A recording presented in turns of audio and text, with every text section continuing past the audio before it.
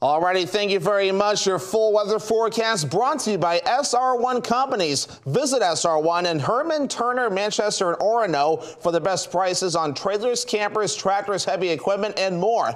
SR1 Companies, where New England's largest selection meets unbeatable prices. Alrighty, we have a heat advisory in the southwestern parts of the state that will last until about 8 p.m. this evening because of high temperatures and humidity that will make it feel uncomfortable outside. Be careful if you're going to be out in the heat across the state today. Meanwhile, if you're going to be heading to the beaches, wave heights are not too bad right now at around two to three feet. We'll still want to be a little bit careful with the ocean temperatures as they're still a little bit chilly, but they've been warming up pretty nicely recently as well with some areas now in the lower to middle 60s, but still a few areas where the water temperatures are a little bit cooler. So keep that in mind if you're heading to the beaches across the region during these hotter temperatures that we are experiencing. Let's talk about those hotter temperatures. Our average high temperature is 81 degrees. Look how warm we will be. Upper 80s to lower 90s, at least today, tomorrow, and Wednesday. We do cool off a bit Thursday and Friday into the lower 80s, less humid then as well. We have middle 80s for a Saturday and lower 80s as we head towards your Sunday. Let's talk about the radar and satellite. Not too bad right now, just some clouds approaching. There will be a slight chance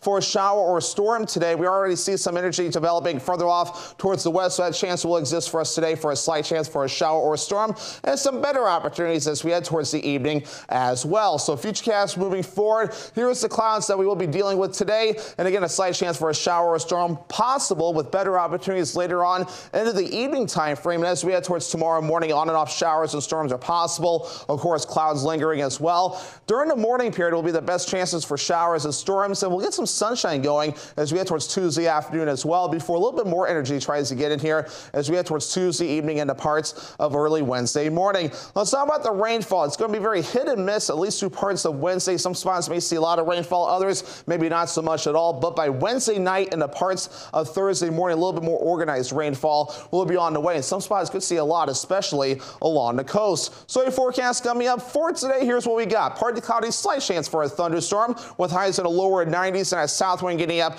to around 20 miles per hour. Later on tonight, here we go, upper 60s, mostly cloudy. A few thunderstorms are also possible with the wind overall looking nice and calm. And for tomorrow, we have mostly cloudy, a chance for showers and thunderstorms, highs in the upper 80s and a southwest wind getting up to around 5 to 10 miles per hour. All right, let's check out your extended forecast brought to you by SR1 Companies. At least through Wednesday. So today, tomorrow, and Wednesday will be humid with temperatures in the upper 80s to lower 90s. We also have showers and thunderstorms Wednesday and also Thursday. Notice temperatures cool off into the lower 80s for your Thursday. Also for your Friday, partly cloudy, highs in the low 80s.